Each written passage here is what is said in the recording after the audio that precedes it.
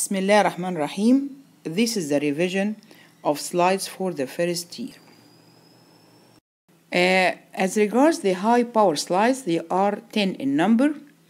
We have um, the uh, simple squamous epithelium, simple cubical epithelium, simple columnar epithelium, pseudostratified columnar ciliated with goblet cell, non-keratinized stratified squamous, keratinized stratified squamous, transitional epithelium. These seven are for epithelium. And we have, after that, we have three types of nerve endings. We have the uh, muscle spindle, we have uh, Pacinian corpuscle, and we have finally motor end plate with silver. These are the 10 high power slides. How can we differentiate between them? That will be seen. Uh, the first slide is the most easy slide because of its characteristic color. It is the motor end plate. Between two brackets, AG, that's the special stain. Why it is the most easy slide? Because it is the only slide in the 10 high power slides stained by the brown color. As we see, these are the longitudinal sections of the skeletal muscle fibers. These ribbons, parallel ribbons, are the skeletal muscle fibers parallel to each other. And then we have this is the motor nerve coming to this uh, muscle supplying it. And at the area of contact between the nerve and the muscle, we have uh, this nerve ending which is called uh, motor end plate. But take care, it is an easy slide, but, but most of you forget to mention the special stain which is silver. So it is very important to mention the stain which is AG or silver. Uh, this is the second high power slide. It's also very easy because it is a slide of the Pacinian corpuscle. As you see here, the Pacinian corpuscle is formed of concentric lamellae of modified Schwann cells they look like sliced onion. So this appearance is very characteristic for the Pacinian corpuscle. You see these uh, circles with the blue dots here representing the nuclei of the modified Schwann cells. So this is the Pacinian corpuscle. This is the Pacinian corpuscle. This is a Pacinian corpuscle, Pacinian corpuscle, Pacinian corpuscle. These are uh, of characteristic holy appearance or looking like sliced onion. Again, this is a picture for the Pacinian corpuscle characterized by this holy appearance of the modified Schwann cells and in the center here we have the axon terminal. So this is the Pacinian corpuscle. This is the third slide in the high power. It is also for a nerve ending. As you see here, we have uh, this uh, small capsulated structure, this capsule here, red capsule, and inside it we have a white space, and inside also we have a few red fibers. These are the intrafusal muscle fibers. Among the uh, uh, Uh, uh, uh, outside this uh, nerve ending, we can see transversely cut skeletal muscle fibers. So, in this slide, here, we have what? We have this capsule, and inside we have a white space, and then we have fibers inside. These fibers are the intrafusal muscle fibers and outside this muscle spindle we have these bundles here of transversely cut skeletal muscle fibers. Uh, they are not evident here the muscle fibers of the skeletal muscle.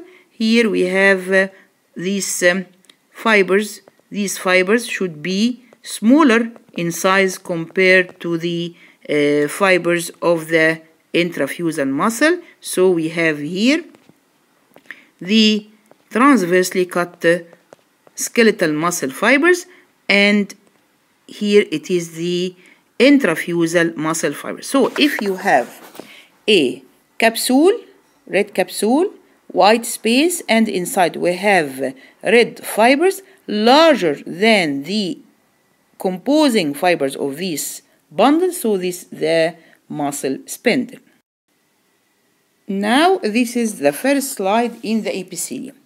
In this slide you can see this is the glomerulus. This is the glomerulus in the Malpighian renal corpuscle and at the periphery we have these um, flat cells with flat nuclei.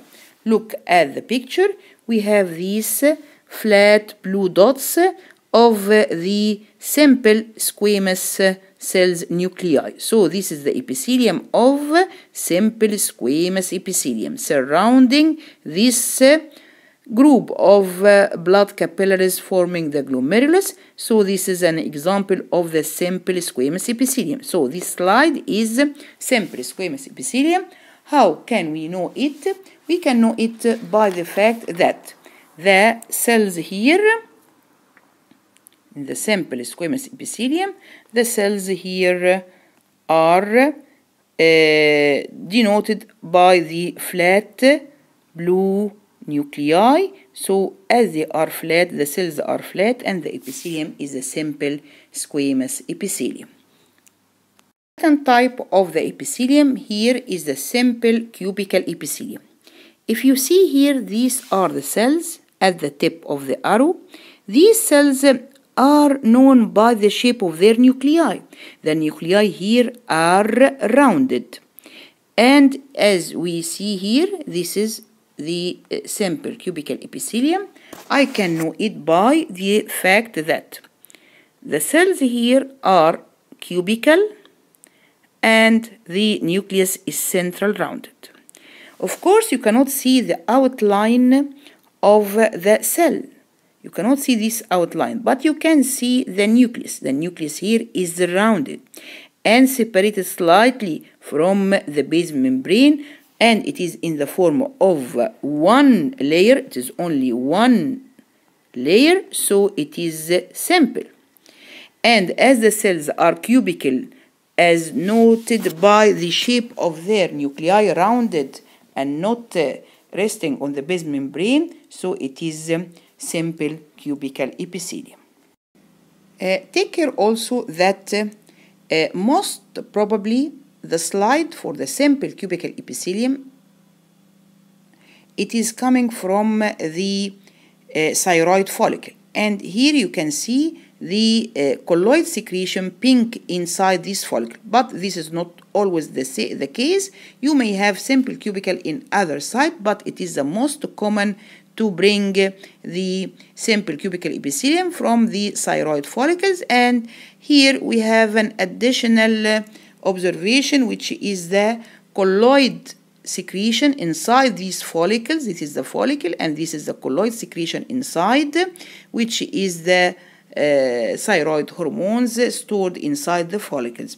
And it is always always pink in color so it is an additional observation to be sure that it is a simple cubicle but take care we can bring a slide for simple cubicle other than that in the thyroid but uh, you will also denote it by the shape of the nucleus and its position. Uh, this is another type of epithelium which is uh, here the simple columnar epithelium in the simple columnar epithelium you can know it by the shape and the position of the nuclei. The nuclei are uh, columnar or oval, sorry, are oval in shape and they are uh, resting on the membrane, no space in between the nucleus and the base membrane and the cell is tall here by evident by the red color of the cytoplasm. So this is the simple columnar epithelium and we can know it by having this um, shape of uh, the basal oval nuclei here resting on the basement membrane and the rest of the cell will be seen as the red color above this uh, basal oval nuclei. So this is the simple columnar epithelium formed of one layer of columnar cells.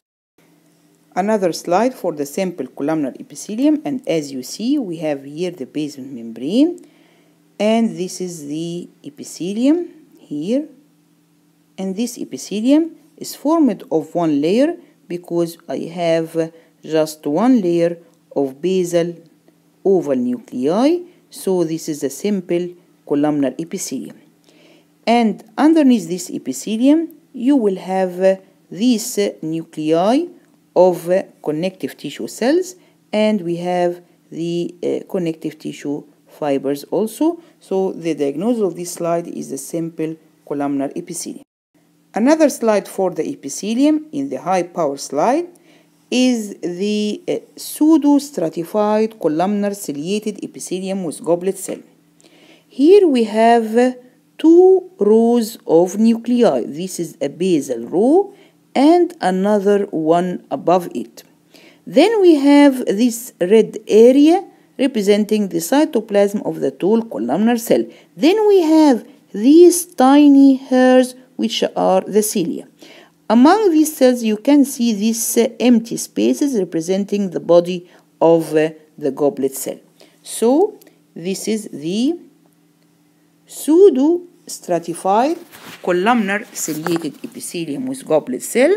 We can see this uh, picture. We have here, this is a base membrane, and then we have above this, this base membrane, we have uh, the nuclei of the short columnar cells, and above it we have nuclei of the tall columnar cells, and then we have the top part of the cell and above it we have these tiny hairs of the cilia.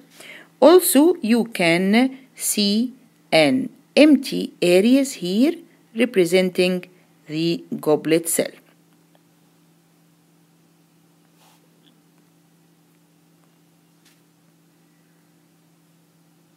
Empty areas or white areas like this one representing the goblet cell. So this is the pseudo-stratified columnar ciliated epithelium with goblet cell. Don't forget it is pseudo-stratified columnar ciliated epithelium with goblet cell.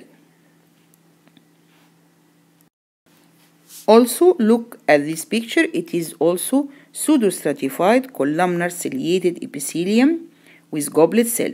This is at first the base membrane. And then we have two rows of these rounded nuclei.